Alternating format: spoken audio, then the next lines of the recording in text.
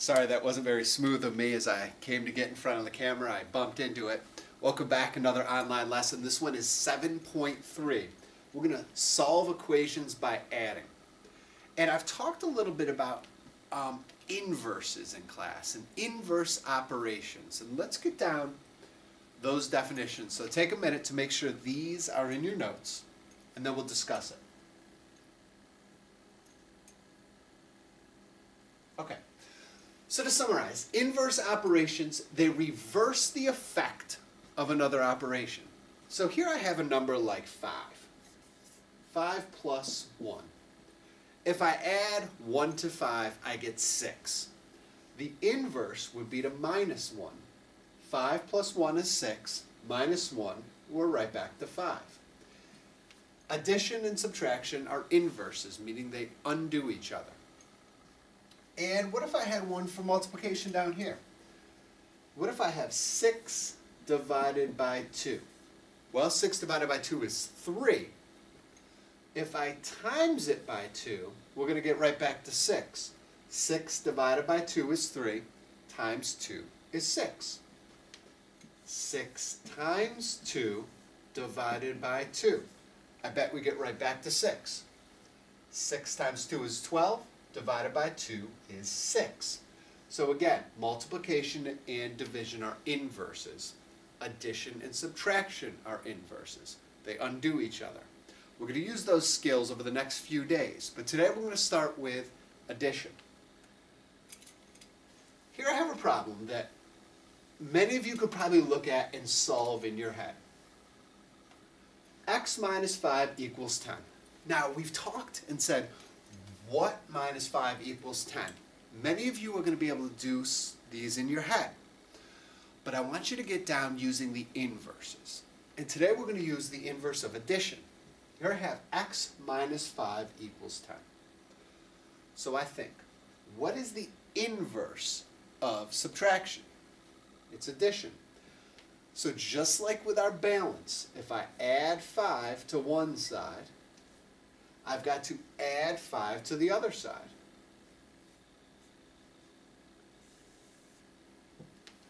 Minus 5 plus 5, those two will cancel each other out. So we're left with x equals 10 plus 5, 15. x equals 15. Now we just solved, we can check. If I plug 15 in for x, 15 minus 5 equals 10. Is that a true statement? It is. We're good to go. Here I have a subtraction problem. x minus 7 equals 12. So I look right away and I say, oh, we're doing subtraction. I need to find what the inverse is. And the inverse is addition. So if we're taking away 7, let's add 7. Plus 7 plus 7. Let's add them up. Well, minus 7 and plus 7, those two cancel each other out. So we're just left with x equals, and we have 12 plus 7 is 19.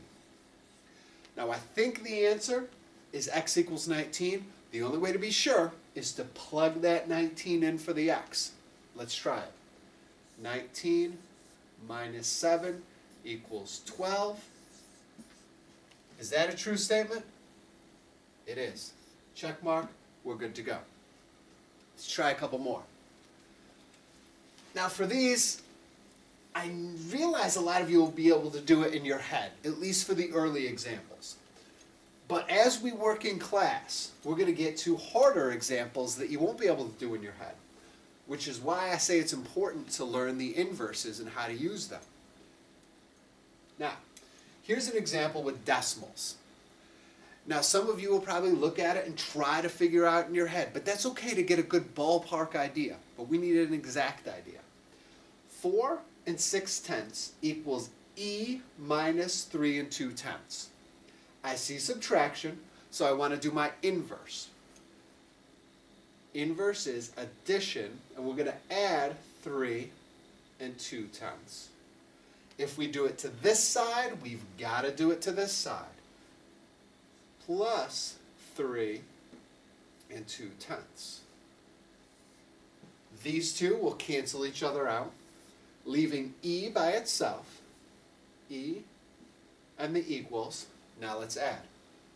6 plus 2 is 8. Bring down the dot. 4 plus 3 is 7. 7 and 8 tenths equals E. Now again, we could flip-flop them. E equals 7 and 8 tenths, but it means the same thing. Again, we think it's right. The only way to be sure is to double check by checking our answer. So let's plug 7 and 8 tenths in for E. 4 decimal point 6 equals 7 and 8 tenths minus 3 and 2 tenths. Can't do this in my head, so I'm going to do some work right down here. 7 and 8 tenths minus 3 and 2 tenths. 8 minus 2 is 6. Bring down the dot. 7 minus 3 is 4. And would you look at that? 4 and 6 tenths. We're good to go. Now we can also use these with word problems. And I have a sample right down here. Okay. Here it is. Pete is 15 years old. Key math term. This is six years younger than his sister Victoria. Okay. Write and solve a subtraction equation to find Victoria's age. Okay, so we know that Pete is 15 years old. That's good.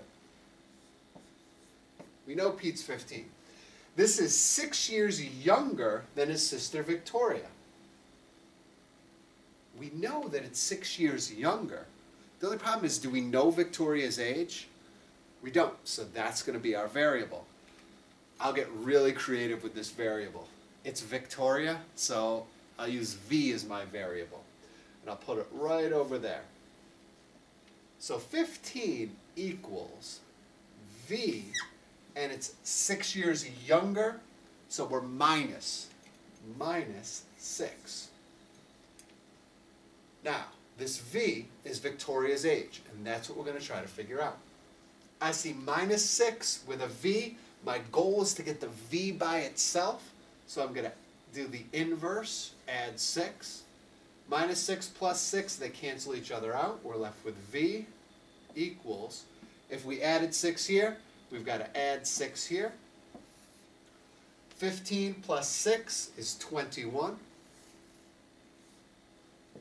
21 equals V. I think it's correct, but let's double check. I'm going to plug 21 in for the V, and I'm going to say 15 equals 21 minus 6.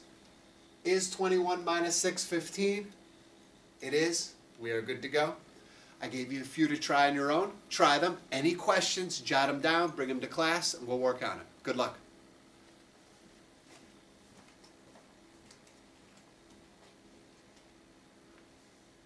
Ooh.